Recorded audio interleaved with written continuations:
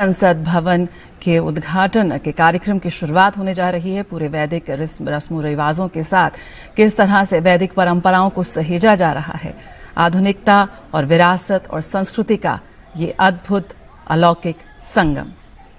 मंत्र शक्ति प्रधानमंत्री नरेंद्र मोदी ने नई संसद भवन का उद्घाटन प्रक्रिया का शुभारंभ किया जहाँ से तमाम तस्वीरें लगातार सामने आ रही है। वहीं पक्ष विपक्ष की प्रतिक्रिया सामने आ रही है।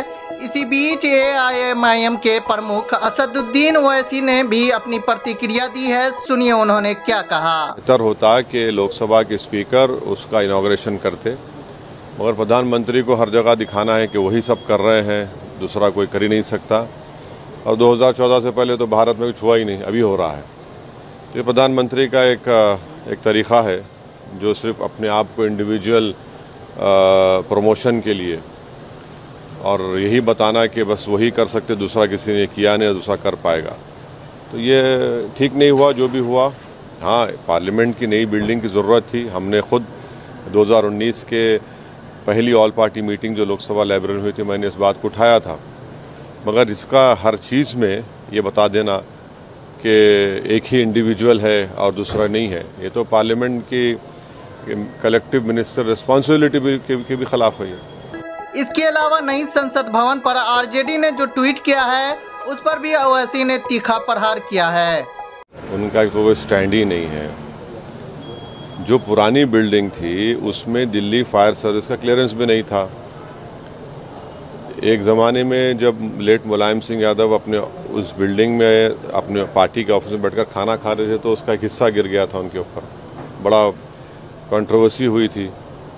अब उसको ताबूत क्यों कह रहे हैं वो? वो किसी और मिसाल दे सकते थे ना? और मिसाल दो उसमें भी आप ये एंगल लाते हैं। तो वो क्या क्या बोलते हैं? कभी सेकुलर बोलते हैं तो कभी फिर बीजेपी से निकला हुआ नीतीश कुमार को अपना मुख्यमंत्री बना लेते हैं। तो वो उनका छोड़िए उनका तो चलते रहे। संसद भवन के उद्घाटन के बाद वीर सवारकर को श्रद्धांजलि दिए जाने पर ओवैसी ने क्या कहा ये भी सुनिए। वो करेंगे ना। जहाँ तक हमारा मामला है, हम भारत में सबसे बड़ा अगर कोई नेता था और रहेगा, वो बाबा साहब अंबेडकर और इस देश में सबसे बड़ा, सबसे पहला आतंकवादी कोई है तो नाथूराम गोडसे।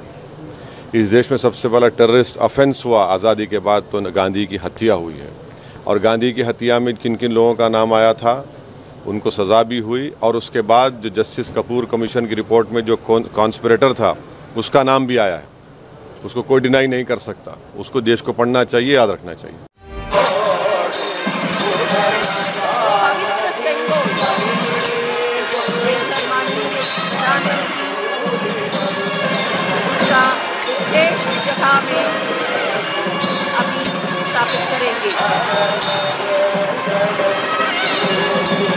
आयुक्त कला इंतज़ार करती है।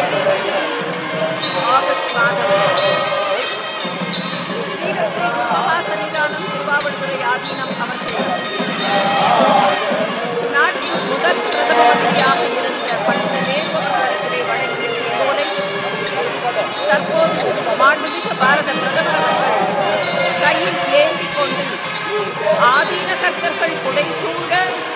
நாடாளுமன்றத்தின் புதிய கட்டடத்திற்கு ஊர்வலமாக வந்து இப்போது அந்த புனித செங்கோலை அதன் Thank you.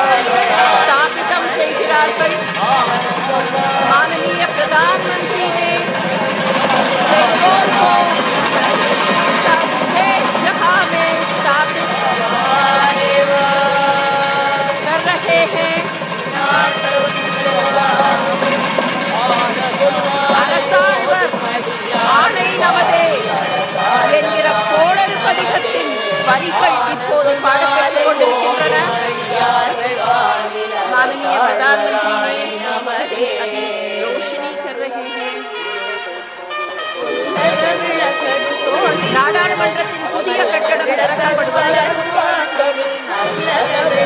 உணர்வு பூர்வமாக விளக்குகிற வகையில் மாண்புமிகு பிரதம மந்திரி அவர்கள் பஞ்சமுக தீபம்